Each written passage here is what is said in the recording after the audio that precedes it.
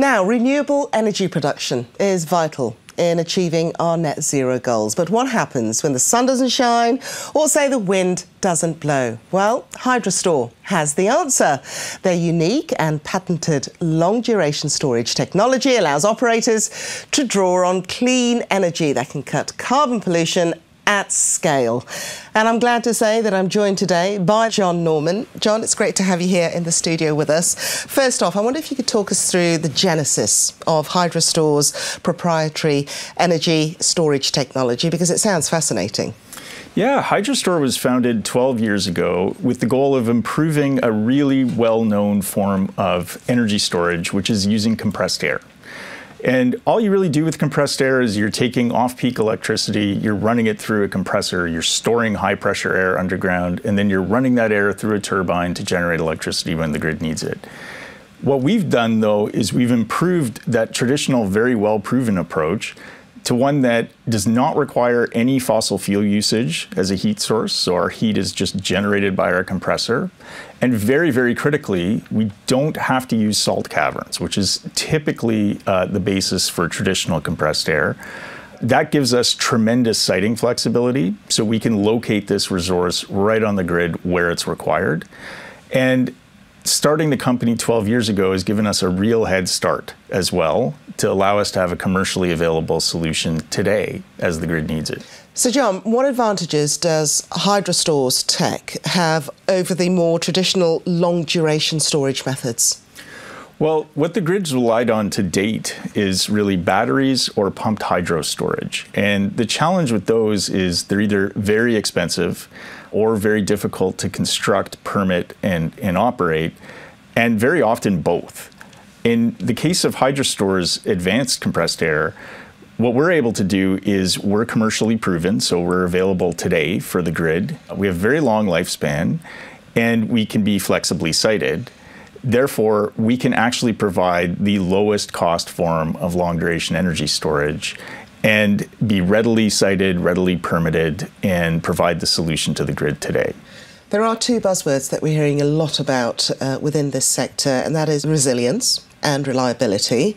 Why are they important, and how can Hydrostor Solution build these qualities into our clean energy output?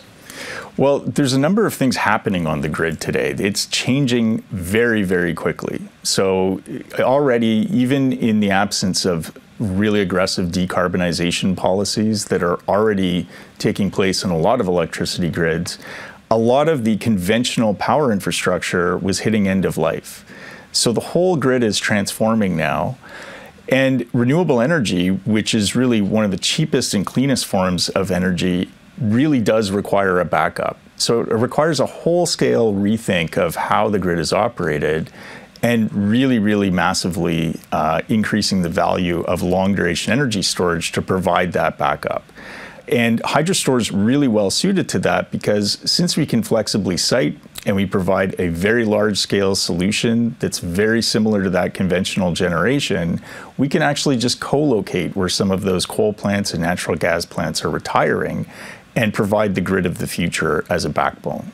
Now, you do have a lot of projects in the pipeline. What can you tell us about them? Well, we have a commercially operating asset that's been in place since 2020 in Canada. Uh, and that's proven out the technology, the basis, and allows us to have a fully bankable solution today. And on the back of that, we have very advanced projects in California and Australia at the multi hundred megawatt, 200 to 500 megawatt scale, more than eight hours of duration, which are going to be in construction starting next year. So this gives us a really strong head start. We're very focused in North America, Australia, and Europe now.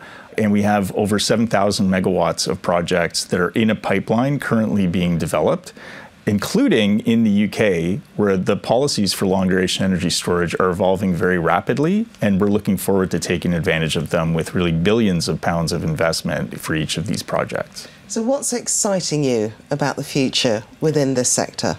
just the scale of the change and the, the pace of the change. We have a real need for decarbonization of the grid. I got into this industry because I want to find clean technology pathways for the future, make our grid future proof. The market for long duration storage is becoming just massive now. So the opportunity is huge, and compressed air is a really, really key element of that solution set. And we're looking forward to providing it. John Newman, thank you very much indeed. Thank you. Thank you.